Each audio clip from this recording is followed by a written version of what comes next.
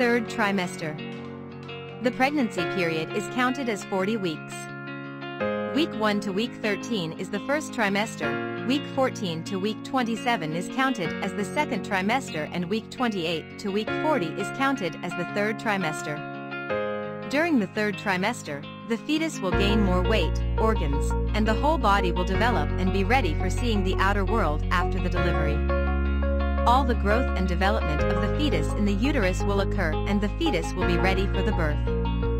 Let's see how the fetus grows week by week during the third trimester.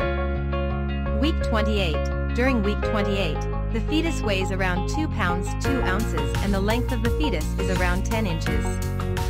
And the heartbeat of the fetus slows down to 140 BPM which would be around 160 to 180 BPM during the first two trimesters. Week 29. During week 29, the fetus kicks a lot and also stretches a lot in the uterus. Kicking around 3 to 5 times per hour is normal.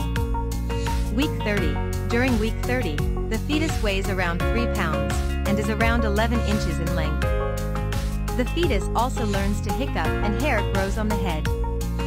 Week 31. During week 31, the eyes of the fetus are open, the brain develops rapidly and it makes a lot of connections for sending and receiving signals.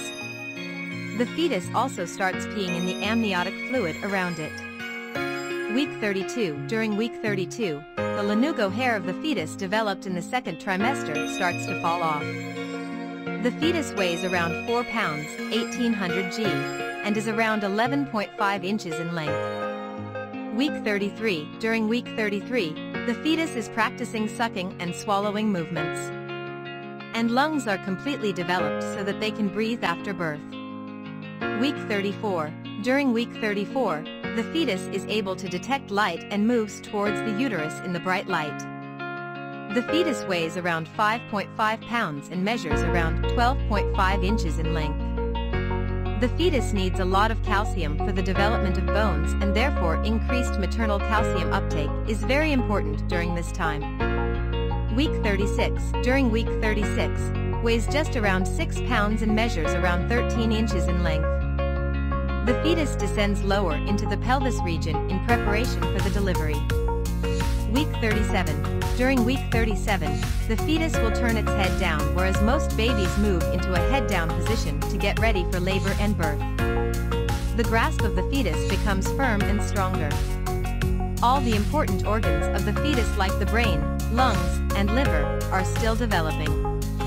Week 38. During week 38, the fetus weighs around 6 pounds 6 ounces and it measures around 13.5 inches in length.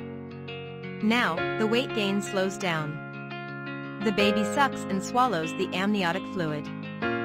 Week 39. During week 39, all of the vernix and lanugo are gone by this time. The fetus weighs around 7 pounds and it measures around 18 inches in length. Week 40. Congratulations on 40 weeks of pregnancy. The baby is fully developed and ready to meet the outer world. After 40 weeks of pregnancy, the baby is finally ready to be born. The fetus during this week weighs around 7 pounds and 4 ounces and it is around 18 to 22 inches in length. This is the journey of fertilized egg cells to the birth of a baby. Thank you so much for watching this video. If you like to learn more about exciting topics, please let us know through comments. See you in the next video with another exciting topic.